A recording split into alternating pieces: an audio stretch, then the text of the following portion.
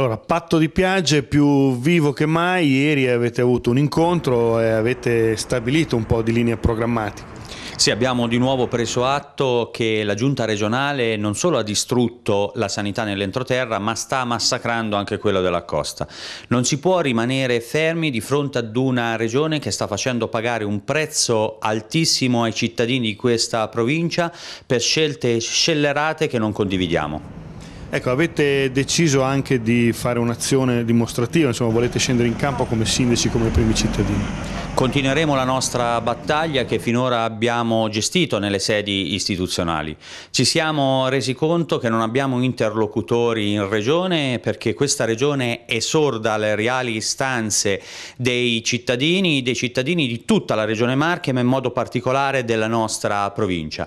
Quindi abbiamo deciso di scendere in piazza con le fasce tricolori in mezzo ai cittadini per informarli di quello che sta accadendo e quello che sta accadendo è davvero grave ed è davvero grave che lo faccia un pesarese con la complicità anche dei sindaci di questa provincia, soprattutto delle città principali della nostra provincia.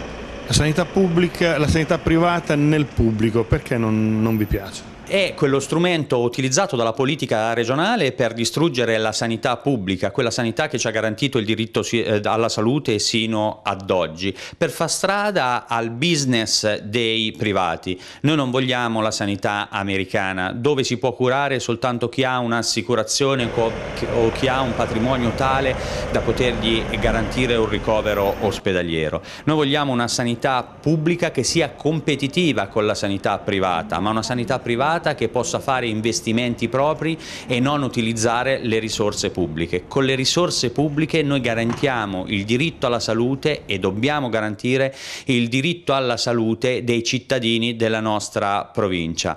Eh, se si riflettesse un attimo noi potremmo verificare come il bilancio della Regione Marche è quasi completamente assorbito dai costi per la sanità, ossia oltre l'80% del bilancio della Regione Marche Marche destinato alla sanità. Qualcuno vuole regalare queste risorse al privato, ma regalando queste risorse al privato noi regaleremmo il completo controllo della regione Marche ai privati. Questo sta facendo Ceriscioli, la sua giunta regionale e i partiti che lo sostengono.